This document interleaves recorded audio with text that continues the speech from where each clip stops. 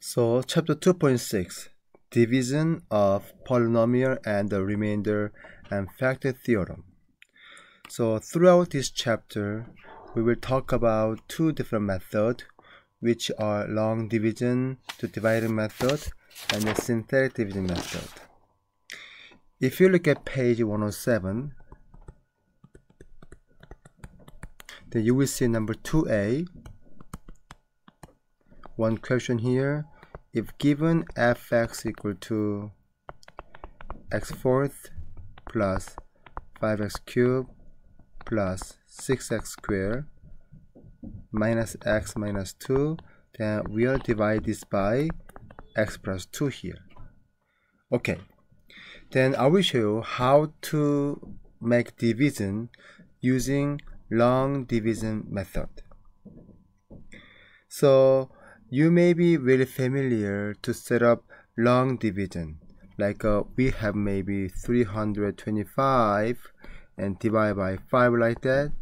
Then you kind of find out how many times 5 going to 32 and which is 6 and 30 and 25 and then get 5 here so 25 equal to 0 you know you all remember we kind of calculate this way it's very similar but now, for this uh, polynomial case, we have a little bit clear algorithm.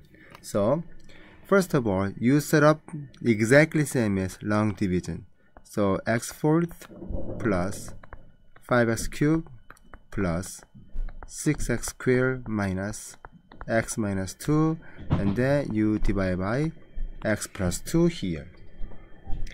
Now, the key point is you only care about dividends leading terms and divisors leading term only and make division between them. So dividend over divisor which is x fourth over x. Then what do you get? Which is x cube here. Then you put x cube on top quotient area here. So I'm gonna put x cube. After that, you multiply this x cube with divisor. Okay, then now x times x cube will be x fourth and 2 times x cube become plus 2x cube. And now you subtract. Subtract means you switch their sign. So I'm gonna switch plus and then minus and minus. Then x4, then x4 is eliminated, and 5x cubed minus 2x cubed become 3x cubed, and this coming down, so become plus 6x squared. Okay. Now, the same step as what we have done the first part here. So you only care about this leading term and this leading term of divisor. So what is the 3x cubed divided by x? And this is the 3x squared. So you put this on quotient area, so plus 3x squared and multiply this quotient value with divisor again. Then this become 3x cubed plus 6x square. As you know, we subtract, which means switch their sign. So now when you look at here, so everything is eliminated. So you bring this down and then also bring this down as well. Okay, now same thing. You divide these leading terms and this leading divisor term here. Okay? So what is the negative x divided by x?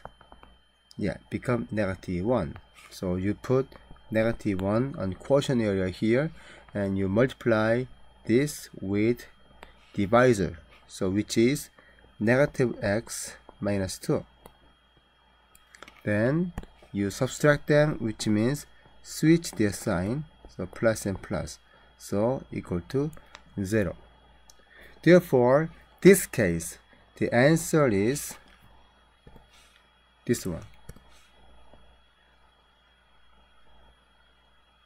And then no remainder. Okay? Then let's talk about letter B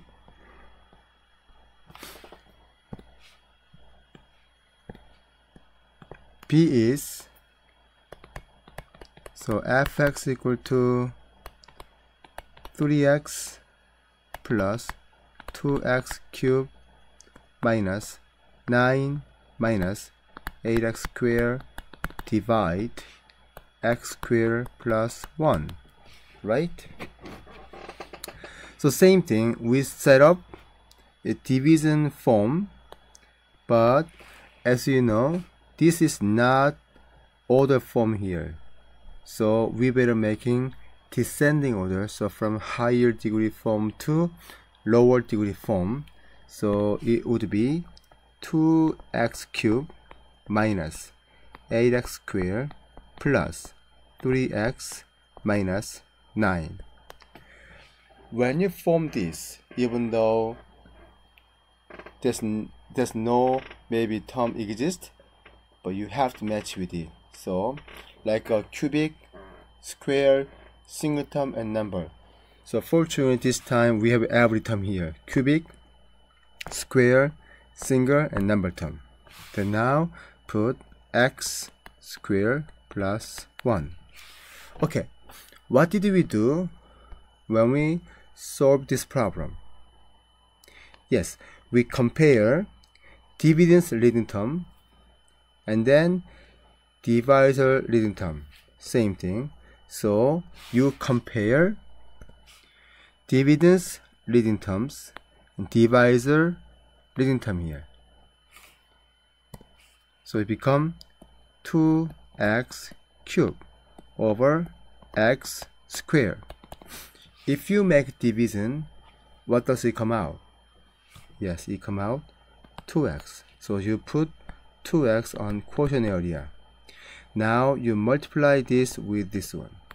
So it become 2x cubed plus 2x squared.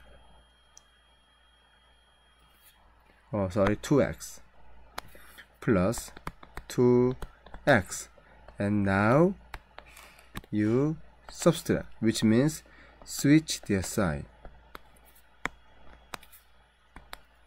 Then these two cancel out and then negative 8x squared coming down here and it become plus x and minus 9 then what do we compare again? Yes only leading term of dividend and divisor okay?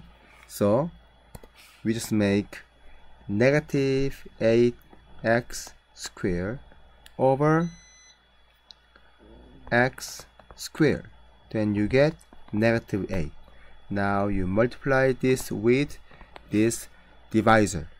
Then oh don't forget put quotient area as well.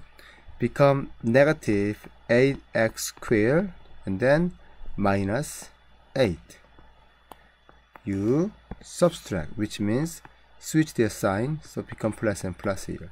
So those two cancelled out and then become x minus 1. So in this problem case, this is our quotient and this is our remainder. Okay?